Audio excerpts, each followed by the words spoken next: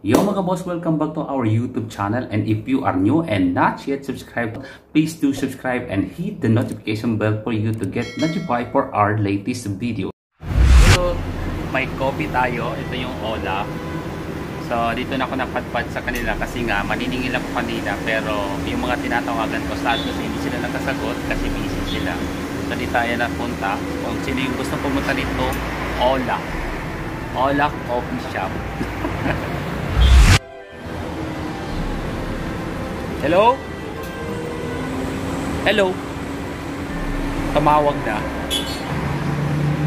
Okay guys, so ito nga kanina ay nandun tayo sa scan kasi nga maniningil tayo sa mga nanghihiram. Okay, so may nanghihiram, meron tayong sisingilin. So, ito ang Ola Coffee Shop dito. So marami nang pupunta dito. Kung nakikita nyo yung mga uh, mga Saudi citizen na yan ay nakaantabay sila rito kasi sa Lapa naman.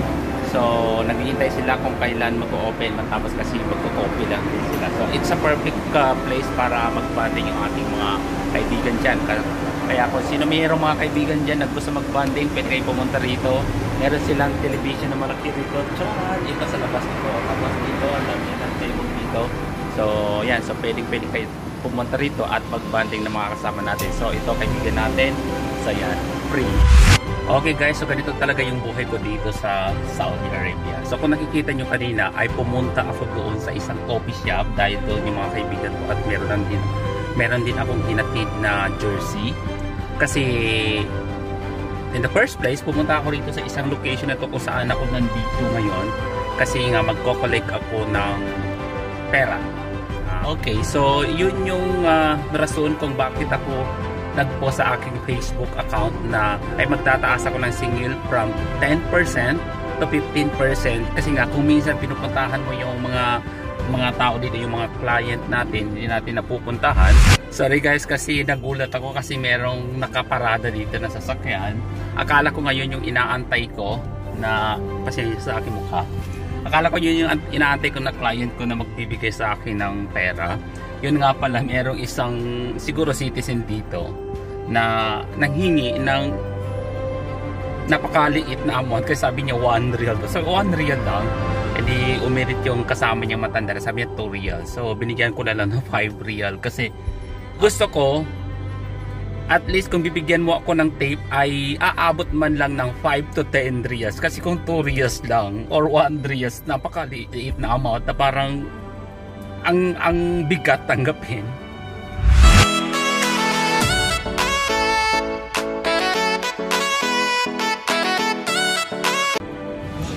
Okay guys, so nandito na naman tayo sa isa pang coffee shop kung saan nandito yung ating kaibigan na nagtatrabaho. Actually, first day niya ngayon or first night rather. So, ito nga ipapakita ko sa inyo kung gaano naman kaganda na magbanding dito sa loob ng coffee shop na ito. So, dito pa lang sa labas ay makikita mo yung uh, upuan na napakalinis yan. At uh, yun nga, 24 hours in service sila. Ito yung nasa labas pa lang ito yung bungad na makikita nyo dito ay merong division sila dyan at ito ang may-ari dito ay yung tinitirahan kong bahay sa may Caldea Wahid so as you can see guys uh, yeah.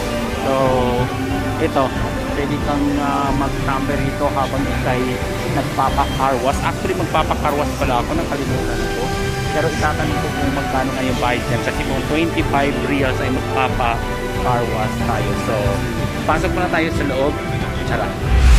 Okay, so nandito na tayo sa loob ng coffee shop kung saan dito yung aking kaibigan na nagtatrabaho. So, ito yung may-ari na sobrang bait niya, si Abu Sari. Okay, ahlan wa sahlan. Okay, so ito nga yung si Abu Sari na may-ari ng coffee shop na ito na pinapasok niya yung aking kaibigan dito. So, look at this, so napakaganda ko. Yan.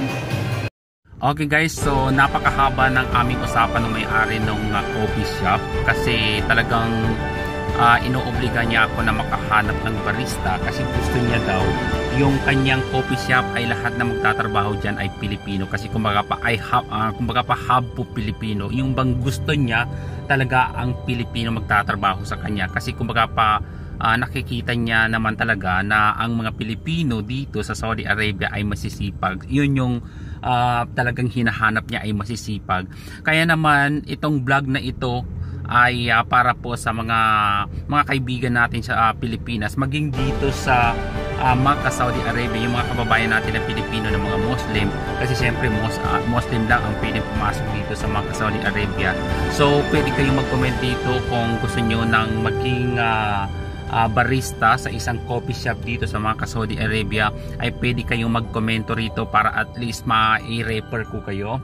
At uh, dyan naman sa Pilipinas kung uh, yun nga actually mahirap din hanapin ang barista sa Pilipinas ano? Lalo sa mga kababayan natin Muslim kasi ewan ko lang bibihira lang ata yung nagiging barista dito sa Saudi Arabia. Pero maggaganon pa man kung meron sa inyo ay pwede kayong mag-comment dito sa aking uh, uh, vlog para at least mai ma uh, masabi ko sa kanya na meron akong uh, kilala sa Pilipinas na pwede mong kunin. Pero ang sahod niya ay nasa 1,800 lang. Tapos sa uh, anong tawag nito?